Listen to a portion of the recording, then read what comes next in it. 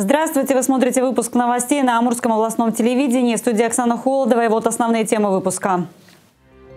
В десятке лучших Владимир Путин отметил инвестиционную привлекательность Преамурья. Несовершенство алгоритмов специалисты назвали причину неудачного пуска с космодрома «Восточный». Недетские планы. В Благовещенске обсудили строительство новых школ и детских садов. Генетический потенциал. В Преамурье открылся первый селекционный центр. Амурская область стала одной из лучших по инвестиционной привлекательности. Десять самых успешных регионов озвучил президент Владимир Путин на заседании Госсовета.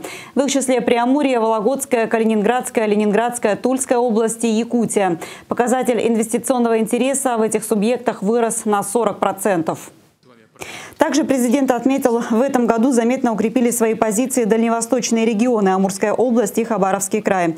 На территории Приамурья реализуются крупные проекты, которые дают рост экономики.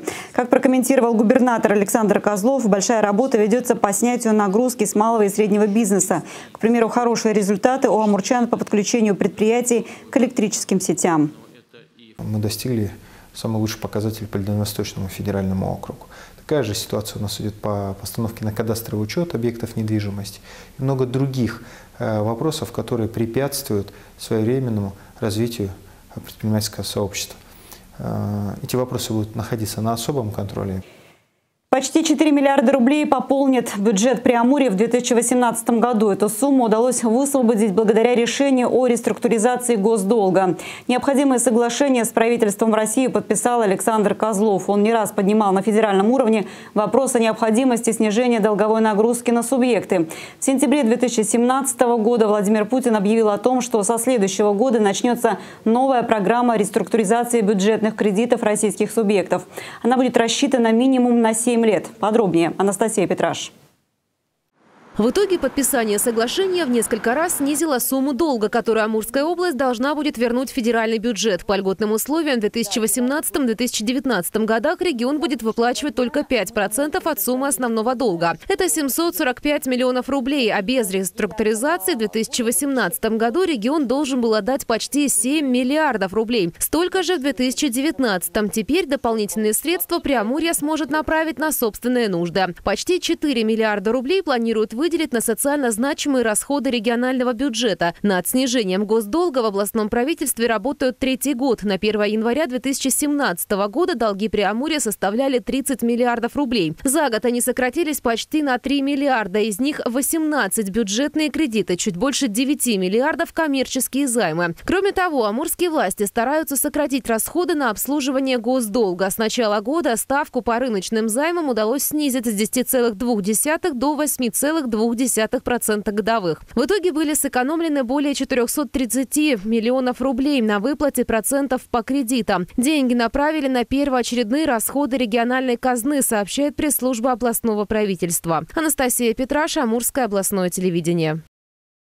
Амурчане смогут проголосовать за президента на любом удобном для них участке и без открепительных удостоверений. Для этого нужно за 45 дней до дня голосования обратиться с заявлением в территориальную избирательную комиссию или в многофункциональный центр. Написать заявление можно будет и в участковой комиссии за 20 дней до президентских выборов. Они назначены на 18 марта следующего года. Тем временем благовещенцев просят заранее уточнить свою прописку, проверить ее правильное оформление.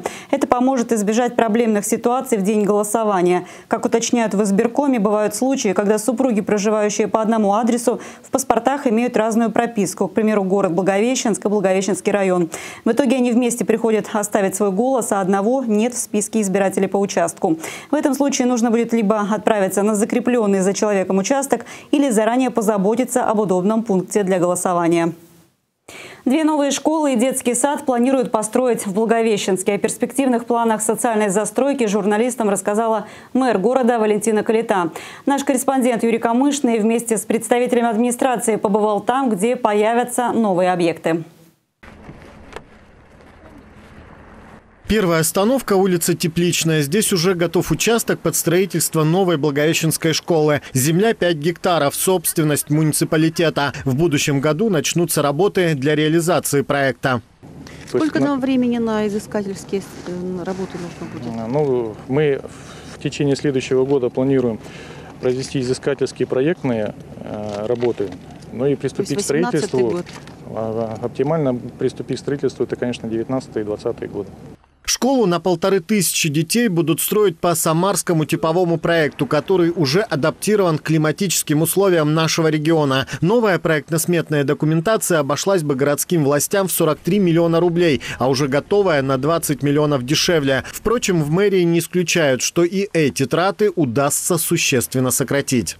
Ведем переговоры с Самарским институтом и как бы с директором говорили, пределах 500, или он сейчас рассматривает вопрос, что сможет даже нам безвозмездно этот проект отдать.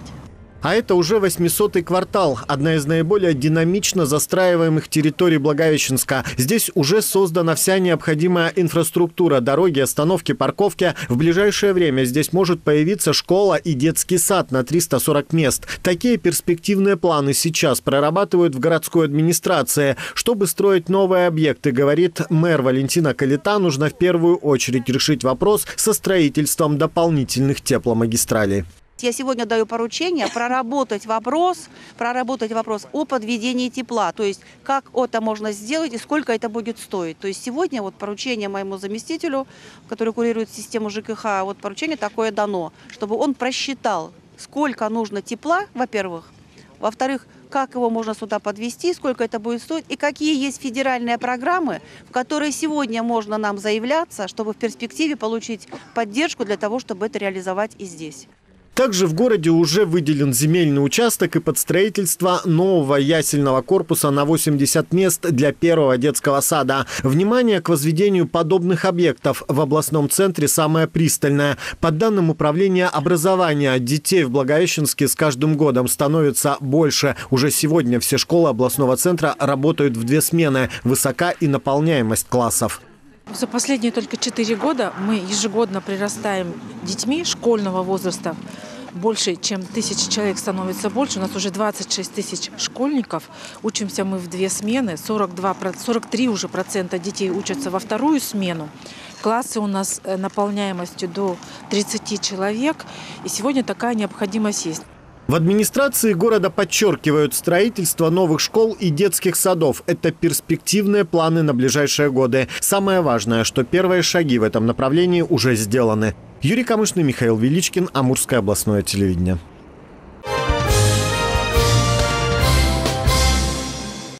Причину нештатного пуска с космодрома «Восточный» назвали в Роскосмосе. Авария с разгонным блоком «Фрегат» произошла из-за несовершенства алгоритмов программного обеспечения системы управления. Эксперты отметили, что расчеты баллистических траекторий были проведены без отступления от порядка.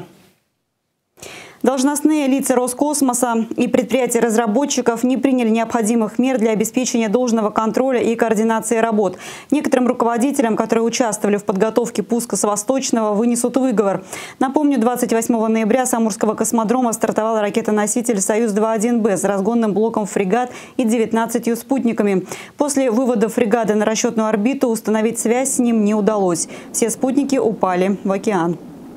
И снова взятки. Суд арестовал руководителя одной из фирм, которая работала на Восточном. Как сообщается на сайте Благовещенского городского суда, мужчину обвиняют в получении взятки в крупном размере. Об аресте ходатайствовал следователь по особо важным делам Амурского следственного управления. Как пишет Интерфакс, сумма взятки составляет 1 миллион рублей. По мнению следствия, арест необходим, чтобы мужчина не скрылся от правосудия, а также не настроил свидетелей в свою пользу и не направил расследование по ложному пути. Кроме того, есть вероятность, что он может уничтожить важные доказательства. Ко всему этому его может подтолкнуть то, что он обвиняется в преступлении, которое относится к категории особо тяжких. Из-за него предусмотрено наказание в виде лишения свободы до 12 лет. В городском суде ходатайство следователя поддержали. Обвиняемого заключили под стражу на два месяца до 26 февраля. Сегодня утром в центре Благовещенска горел автомобиль. ЧП произошло на пересечении улиц Пионерской и Амурской. Пламя вспыхнуло в моторном отсеке микроавтобуса. Огонь пытались потушить очевидцы. Также на помощь водителю выехали пожарные, которые и ликвидировали возгорание. Причины произошедшего устанавливаются. Период новогодних праздников будет введен режим повышенной готовности у энергетиков, коммунальщиков и дорожников. График дежурств специалисты составили до 8 января. А жалобы некоторые ведомства будут принимать даже в социальной сети Инстаграм. Так, на Благовещенской ТЭЦ и Райчихинской ГРЭС принимают дополнительные меры для бесперебойного теплоснабжения населения в период выходных. Там создан аварийный запас расходных материалов, приведена в готовность автомобильная и тяжелая техника. Кроме того, в режиме повышенной готовности будут находиться дежурные ремонтные бригады. Амурские коммунальщики тоже в праздничные дни будут работать круглосуточно. Все диспетчерские службы перешли на усиленный режим, а на дорогах области дежурства будут вести дорожные службы. В их ведении и контроль за федеральным федеральными трассами. Кстати, для того, чтобы оперативно решать проблемы, у Министерства транспорта и строительства Приамурья появился свой аккаунт в Инстаграм – минтрансстрой.амур.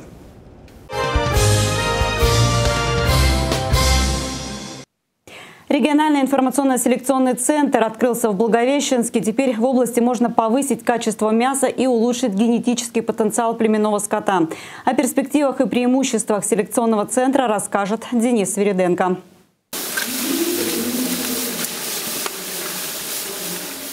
Вот так из кипящего азота эксперт лаборатории выбирает нужный биоматериал. Работа небезопасна, но так необходима амурскому животноводству. Ведь эксперты лаборатории проводят исследования с генетическим материалом племенных быков, который хранится здесь в четырех резервуарах при температуре минус 196 градусов. Поставляется это семя с Московской области, с Красноярского края, с Тюменской области, то есть мы сегодня работаем, ну из других из ряда э, регионов.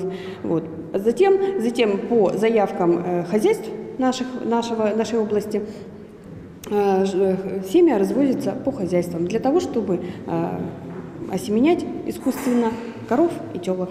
Сегодня в области 19 племенных хозяйств. 7 добавились в этом году. Ежегодно предприятия должны подтверждать племенной статус. Раньше, чтобы провести соответствующие исследования, приходилось ездить к соседям в Хабаровский край. С открытием селекционного центра сельхозпроизводители смогут сэкономить. Соответственно, как бы проводить исследования и платить э, деньги э, в другом регионе. На сегодня при создании центра, при создании э, трех лабораторий мы облегчили это для сельхозтоваропроизводителей, и они теперь проводят, могут проводить исследования здесь непосредственно на месте и никуда не выезжая. Жир, белок, сома, плотность, точка замерзания и добавленная вода. Теперь все расположено в одном месте – и учебный центр, и ветлаборатории, где специалисты будут проверять, к примеру, молоко на вредные вещества. В кабинете хроматографических исследований эксперты проверяют продукцию на пестициды и микротоксины. Здесь находятся два прибора хроматографа жидкостный и газовый.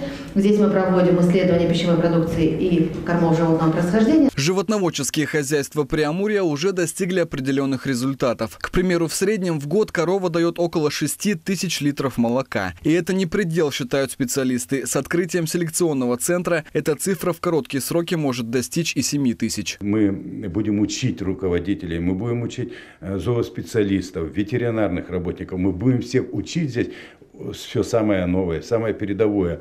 А, то, что вот составляет э, те, даже с привлечением э, вот э, специалистов, тех хозяев, которые добились сегодня самых больших успехов условий. Сотрудники Амурского центра смогут выводить и новые породы коров. Как говорят животноводы, удастся улучшить производительность скота и сохранить племенной генофонд. Каждое племенное животное занесут в единую базу.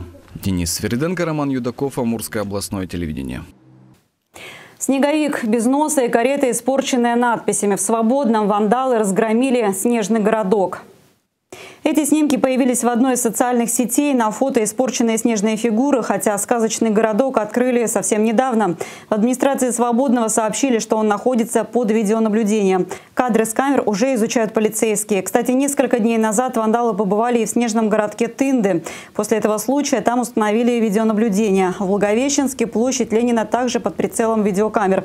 Создатели ледовых и снежных фигур надеются, что их творения будут радовать амурчан до февраля. Такси по двойному тарифу. В Новый год некоторые перевозчики планируют перевозить горожан за двойную цену, однако есть и те, кто начали повышать стоимость поездок еще в 20-х числах декабря, примерно на 30 рублей. Как пишет «Амурская правда», в предпраздничные дни поездка из микрорайона в центр города обойдется в 140 рублей. В новогоднюю ночь ценник подрастет до 270 рублей. В свою очередь, некоторые фирмы предпраздничных повышений делать не стали. Двойной тариф у них начнет действовать с 16 часов 31 декабря до 10 часов 1 января. Как сообщили несколько перевозчиков, привычное русло ценники на услуги вернутся 2 января. Дед Мороз на мотоцикле в Благовещенске волшебник прокатил детей с ограниченными возможностями здоровья. Необычную акцию в минувшие выходные провели благовещенские мотоциклисты. В костюм Деда Мороза нарядился руководитель клуба «Мотопатриот» Василий Семенов. Покататься на мотоцикле с Дедом Морозом смогли дети из центров «Доброта» и «Надежда». Новогоднюю акцию для особенных детей клуб организует уже четвертый год. По сценарию Дед Мороз приехал в клуб, чтобы отремонтировать свой мотоцикл, а дети устроили для него сюрприз и также помогли в ремонте. Организаторы говорят, отбоя от желающих прокатиться не было. Потом дети рассказывали стихи, пели песни, играли. Для них накрыли новогодний стол. Также для ребят провели мастер-класс по изготовлению новогоднего мыла и вручили сладкие подарки. И на этом все. Спасибо, что были с нами. Смотрите новости Амурского областного телевидения и следите за происходящими событиями вместе с нашими корреспондентами. А также заходите на сайт amurobl.tv. Моя работа в студии завершена. С наступающим Новым годом. Здоровья, удачи и благополучия. До свидания.